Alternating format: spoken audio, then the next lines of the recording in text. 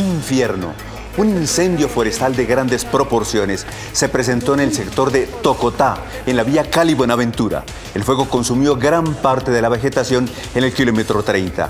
Bomberos de Dagua, Queremal y Cali atendieron la emergencia para evitar que llegara a viviendas aledañas.